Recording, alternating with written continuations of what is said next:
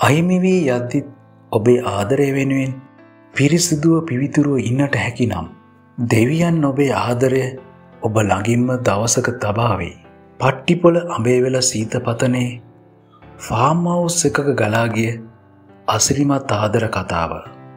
සපු හයවන දිගහැරුම මෙතැන් සිට. මිදුලේ තුරුවාඹගස් පේලියට සපුමලී කේටස්සි පුංචි වෑන්ඩිය නතර විය. සාගරයින් බැස්සේ ගෙනා තෑගිද රැගෙනය. දොරකටඩාව සුජාතාය ඇය කොල්ලා දෙස බලාඋන්නේ ලෝභකමිනි. මේ තරන් ලස්සන පුතෙක් තමාට ලැබුණායයි ඇයට සිතාගන්නටවත් නොහැක. දෑස් දෙකොන් තෙත්තීගෙන යද්දි සුජාතා තොල්පට තද කරගෙන සිනාසුනාය. අම්මේ එන්න පුතේ ඕ මිදුලේදීම දනවබා සුජාතාට වැන්දේය. යන් තාත්ත බලඟින්න ඔයා එනකල්. සුජාතා කොල්ලා ගෙදරට එක්කාගෙනාවේ අතින් අල්ලාගෙන මිනි. සපූ කඳුළු පුරවාගෙන බලා උන්නාය. දොරින් ඇතුල්ලූ කොල්ලාව දැක ජයන්තර පුදුම සිතුනේ. සුජාතා කීවා හරිය පවුලට ලැබෙන්නට යන්නේ හොඳ පුතකි. සාගර ජයන්ත දෙස බැලුවේ ගෞරය මුසුහු සෙනහසකිනි. ඔහු ඒමම් පැමිණ ජයන්තර දනවබා වැන්දේය. සුජාතා සපූත් දයසිරි මහතා ඒ දෙස බලාඋන්නේ ජීවිතයේ දකින ලස්සනම දසුන දෙස පලාඉන්නාක් මෙනි. ජයන්ත කොල්ලාව දෑතින්ම අල්ලා නැගිට්ටුවේ. කොහොමද පුතේ හෝ හොඳයි තාත්තේ කොල්ලාගේ ඇස්සල වූ තෙතමනය කොතරම් අවංකදයි ජයන්ත ධනේ. ඔහු මේ ජීවිතය අනන්තවත් මිනිසුන් දැක ඇත. එහෙත් මේ කොල්ලාගෙන් තර පිරිසුදු අවංක බවක් කාගෙන්වත් ජයන්ත දැක නැත. මං මේවා ගැන කලින් දැනඟ උන් නෑපුතේ දැන් ඒවා හිතන්න එපා තාත්තේ ඉදගන්න පුතේ සුජාතා කොල්ලාව පුටෝක වාඩි කලාය. ජයන්ත වාඩි වූයේ ඕ ළඟම පුටුවේය. සාගර සපෝ දෙස බැලුවේ තුනී සිනාව සහිතවය. අද ඇගේ ඇස් ගන්නට දෙයක් නැත. ඔයාගෙන මට ගොඩක් කාඩම්බරයි. අසංක මට ඔයාගෙන මුලින්ම කිව්වේ පස්සේ අම්ම තමා කිව්වේ. අද ඔහුට කතා කෙරෙන්නේම නැත. තාත්තගේ ගෝලයා අන්තිමට අපේ බෑන වුණා.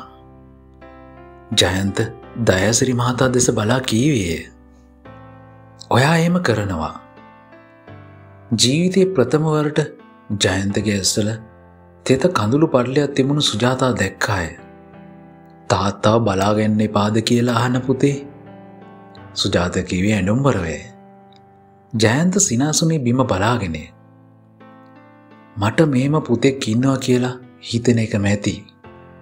ඕ කිවේ සාගරගේ හිස අතගාය.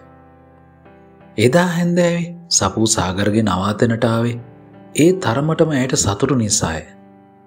දැන් කාගෙන්වත් බාධාවක් නැත. මේ ජීවිතය මොහෝකේය.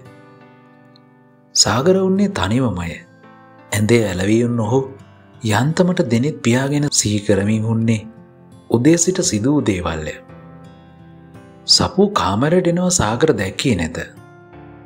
ඇය කාමරයේ ගඩොල් බිත්තියට බරවි සාගර දෙස බලාගෙනම උන්නාය. නිල් පාට සරමත් සුදුවෙස් බැනියමත් ඇඳගෙන උන් ඕගේ මෝන උදේ දැක්කාටත් වඩා පින් පාටය. සපු හෙමින් හෙමින් පැමිණ ඔහුගේ පපුුව මත සුරත තැබවාය.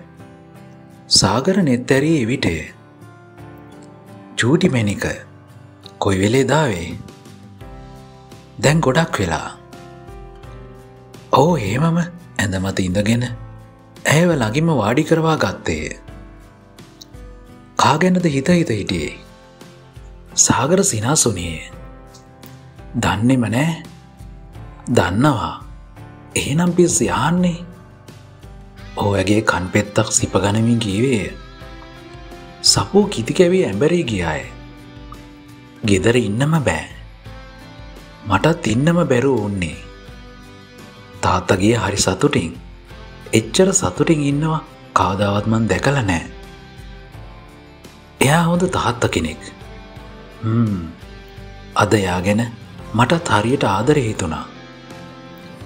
නරක කාලට වෙච්ච දේවල්වලට එයා ගෙන නරකක් හිතන්න එපා. ඔහු සපෝගේ හිස අතගාමින් කීවේ. තාත්තා ද ඇඳගෙනගේ ගෙනාපු ෂර්ට් එක. අද මැන්දද හරි ලස්සනයිලු. සපු එහෙමම ඕගේ වතට බරව්වාය. කෝමේ ළමයි ටික. ඔක්කොමල්ලෝ යව්ව ෆිල්ම් එක බලන්න. පවුනේ වැඩ කරනවා විතරනේ. ඉතිං වාගිය නැති රත්තරන් මට වෙන සතුටක් ඕන නෑ. ඇස් දෙක වහගත්තම මගේ සුරංගනාවිය මල්ලඟ. සපුයේ පපුුව මත සුදු ඇගිලිතුඩු යැව්වාය. කවුරුවත්ම නැද්ද? නෑ. ඇයි එමම ඇදමත වැතිරුණාය. සාගරයේ වතට එබුණේ මලකට පහත් වෙන්න බඳුවය. දැන් ඔයාගේ ඔක්කොම ඇය කෙන්දිරි ගාමෙන් කීවාය. සාගරයේ මුහුණ මත යන්තමට දෙතුල් තබා සිපගත්තයේ. කෙල්ලටේ මදිය. ඇහැ දෑත් කෙලවටා යවා ඔව දැඩිව මුහුණට ලංකරගත්තාය. ප්‍රේමා කෙල්ල ඉඳගෙන උන් එලියේ පඩිය උඩ ඉඳගත්තේ රෑ එකොලාට විතරය. අද කෙල්ල නිදාගන්නේ නැති බව ඇයදනේ. සපු ප්‍රේමාගේ වතට බරවූයේ ආදරේනී. පුදුමයි නේද බේබී ඔයාටත් පුදුමද ලස්සන ෆිල්ම් එකක් බැලුවා වගේ තාම නිකං ඒවමයි මතක් වෙන්නේ මට මාස දෙකතුනක් යැනකල් නින්දත් යන්න ඇතිවෙයි ප්‍රීමා.